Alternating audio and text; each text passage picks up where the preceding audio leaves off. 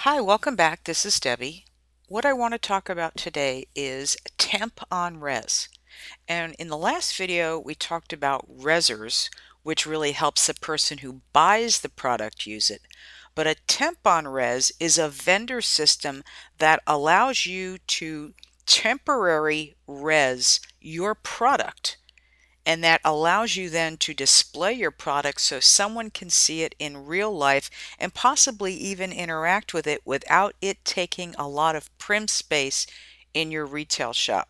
Now this is a vendor system that can either you can buy it as a gift, you can buy it for yourself, or you can temporarily rez the thing that's being sold. And the way they're selling this is by making these temporary rezzers the product. So if you were to buy this temporary rezzer, you could do exactly what this system is doing.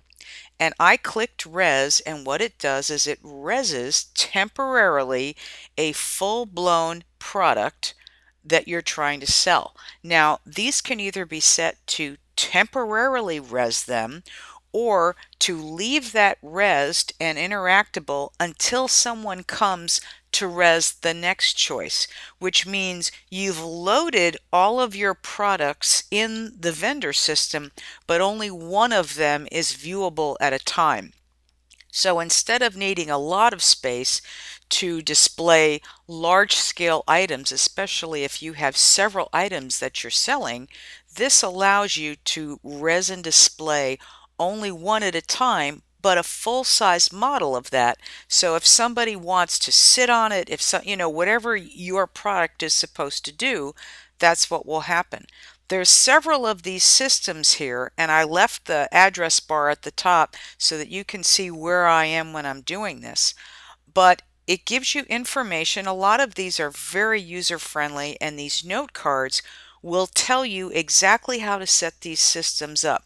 Now, they're not cheap. I think this one is about $1,900, but you just need to know that they're out there. If you're making one product for this um, for this class, then that's fine. But you need to know that these are out there if you start making multiple products and you want to be able to sell it somewhere where the customer can experience it before they buy. Um, of course, if you own an island, you can put a lot of things out there, but until you become rich and famous as a as a business person in Second Life, this will have to do. The thing I want to show you now is how you can also give your customers the opportunity to experience something again before they buy it. Used to be you had a crapshoot when you were buying clothing you could uh, buy it and you could put it on and it looked terrible.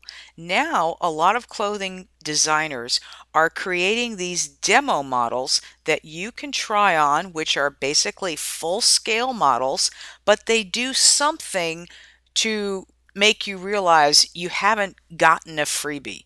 They will either make the thing that's a demo because they offer it as a demo, they offer it for sale for nothing, but they either make it an awful color or they put some kind of trademarking on it that would be so embarrassing if you were to wear this in public that you you just couldn't.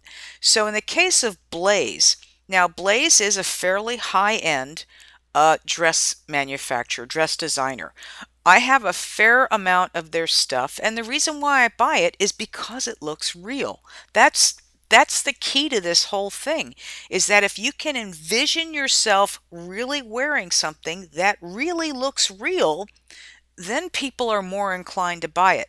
Uh, the flexi prims, the way it moves when you walk, the whole thing makes it look more realistic than some of the other dresses I've seen in there. But look what they've done. Pink is not my color, but what they've done is they've plastered their logo all over this, which it's clear if you were to ever wear this in public, this is worse than wearing something with the tags on it. I mean, this is just, it's clear to everyone that this is a demo, but you can see this is one way that they've given a customer the opportunity to try before they buy.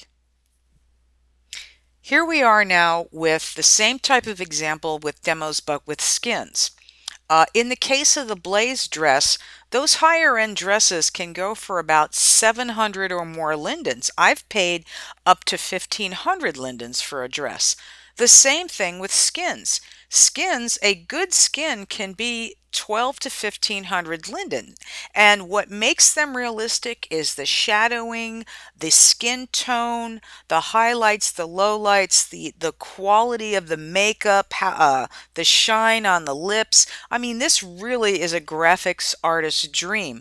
But you can see now I put on a demo skin and if you're at the store buying these and you want to try on a demo and you want to try on what it looks like you can do that but you're going to have these marked.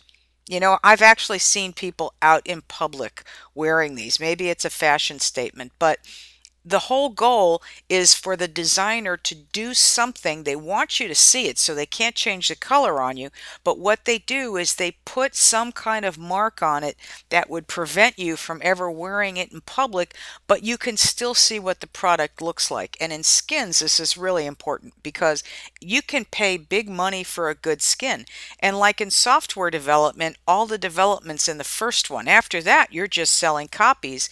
And copies at 1500 or 1200 lindens, that can make some money. You can see over here a different type of trademark. So how you display your product is important, but giving the customer the opportunity to try before they buy is becoming more and more important as there's more and more competition in Second Life.